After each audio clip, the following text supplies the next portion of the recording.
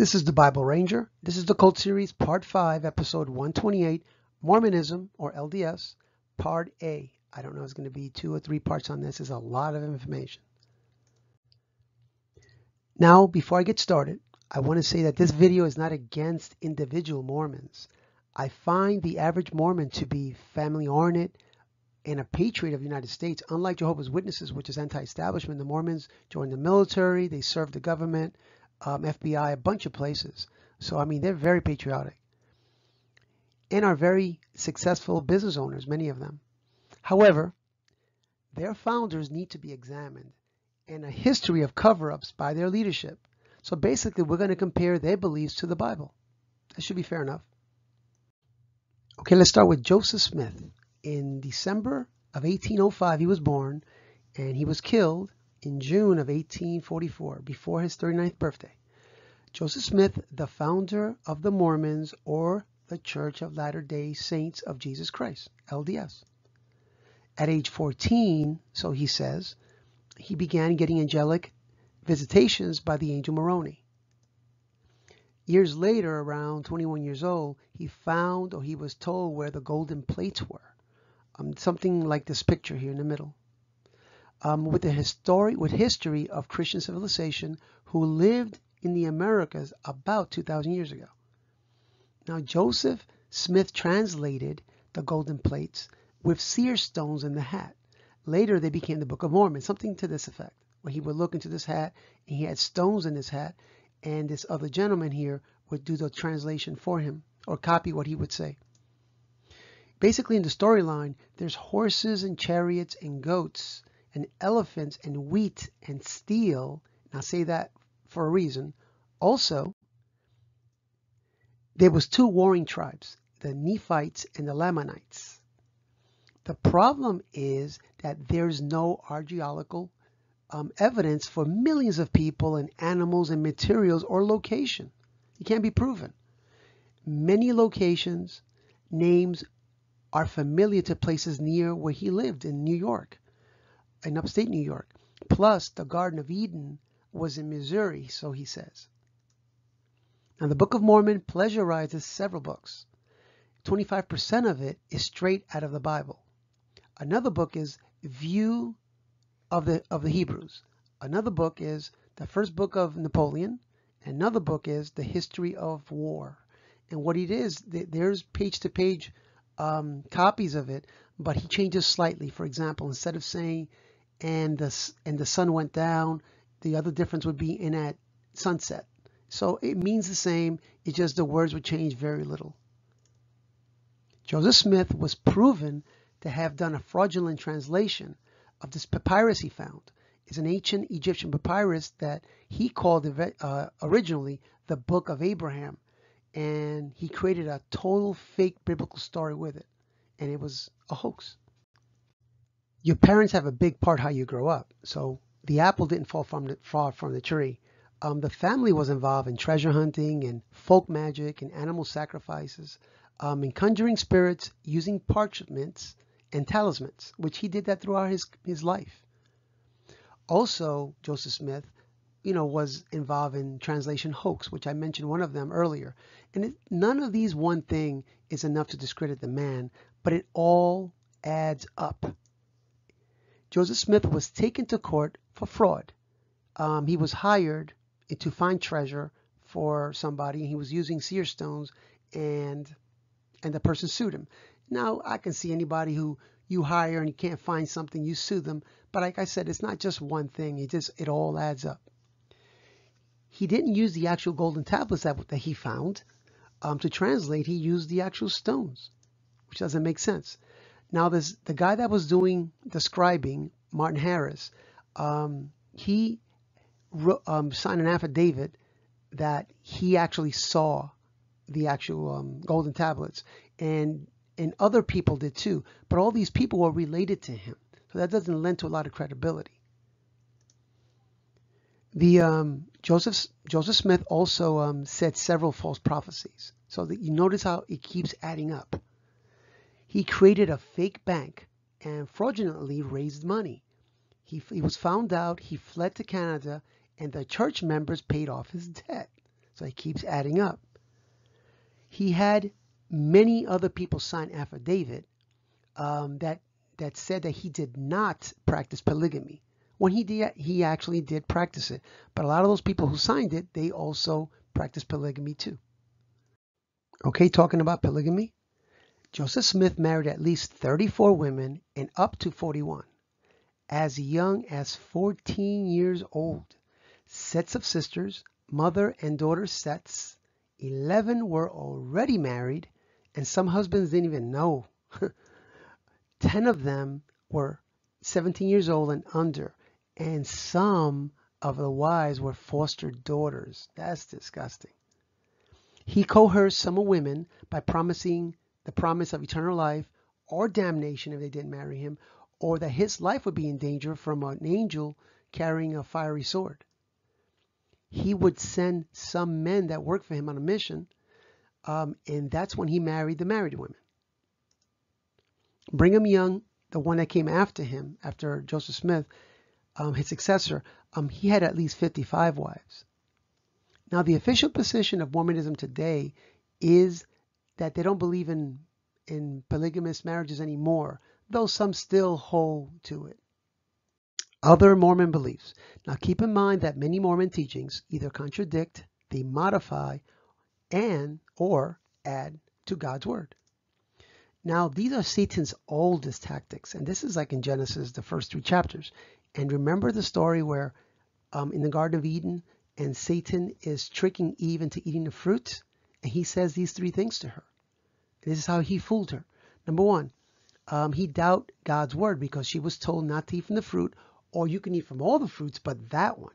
So Satan ends up saying, well, did God actually say that? So he's questioning God's word. You're doubting God's word. This is what the Mormons do. They got they doubt God's word so that you need a, a different revelation. So you have the other books. Um, number two, deny God's word. Um, even even though God said when you eat from it, you shall surely die. Satan said the opposite. He goes, you shall not surely die. Total opposite. Number three, you deify man. Um, Satan told Eve that by knowing good and evil, you shall be like God. Well, we haven't talked about yet this yet, but Mormons seek to be a God. Now, they have four holy or inspired books. One would be the Bible, mostly good, but it has errors. Number two, the Book of Mormon. Um, Jesus visits the Americas after his resurrection. Number three, Doctrine and Covenants. Um, that, uh, more revelation from God to Joseph Smith and others. And number four, Pearl of Great Price is additional writings, and revelations. So Mormons believe they're the real Christian, even though there are four types of Mormon denominations, and they all believe they're the true church. So these are some Mormon beliefs. Now they have Mormon churches, which anybody can join. I mean, anybody can attend, general attendance. Uh, Mormon temples, which are the very fancy ones. They don't have as many but you have to be a Mormon in good standing.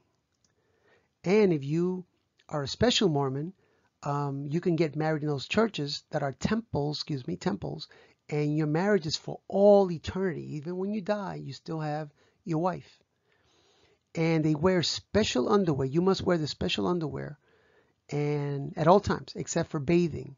And if you wonder, well, how do you make love? As long as the clothing is touching some part of your body, now they baptize the dead. They do it in these temples.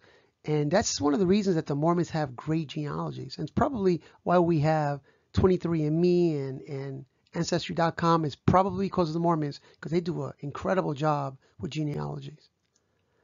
Now, early on, it was believed that Jesus got married to three wives and he had children. And of those children, Joseph Smith was a direct descendant of Jesus Christ. I don't think they believe that anymore, but it was at one time.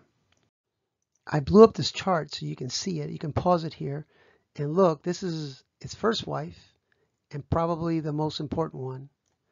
And all the other ones were young ladies and, and all these here were the husbands of all these wives. Incredible. Look at that. The, he wasn't satisfied having all these wives. He had to have other men's wives too. 34 wives, at least. That's minimum. Probably 41 was more like it.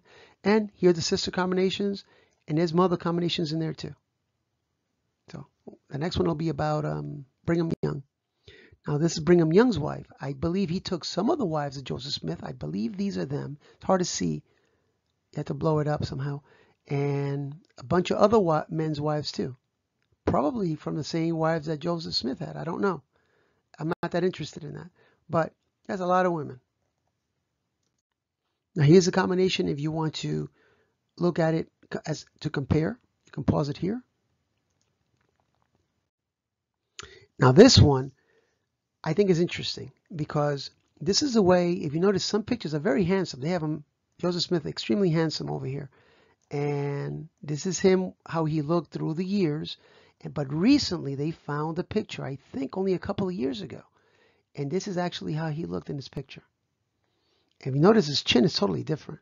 This is a pointed chin and his chin is way wider here.